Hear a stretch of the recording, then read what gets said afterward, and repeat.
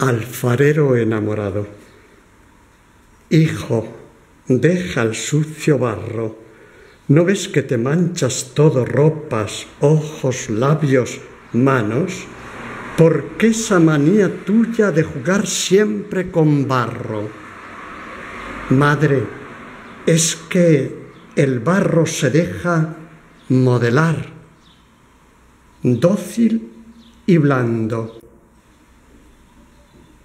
para que con él yo forme hombres, gacelas y pájaros. Hijo, no entiendo que dices que todo eso está formado por el Creador Divino cuyo nombre sea alabado.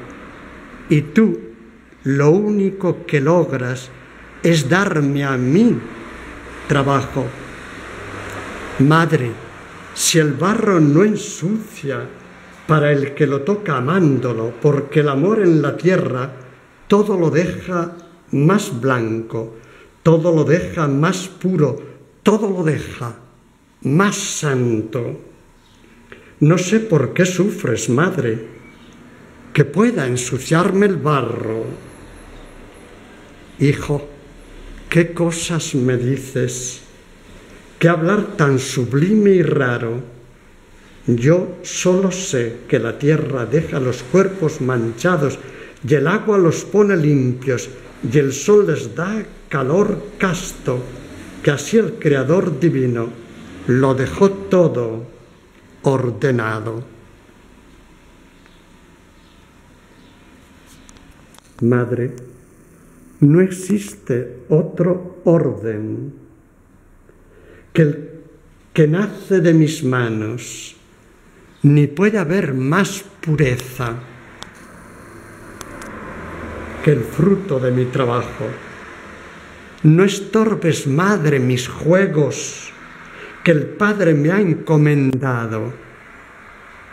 Poner alas a la tierra, encender el barro en cantos y que el Espíritu mismo sea hermano menor del barro que yo nací para ser alfarero enamorado.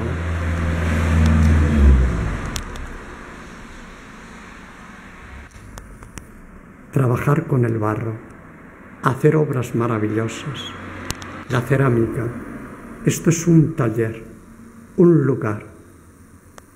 El poema de Antonio López Balza, inspirado en un apócrifo árabe de la infancia. Cuenta así el niño Jesús, jugando con los muchachos de su misma edad, se divierte haciendo barro con el barro figurillas de asnos, bueyes, pájaros y otros animales. Que yo nací para ser alfarero enamorado.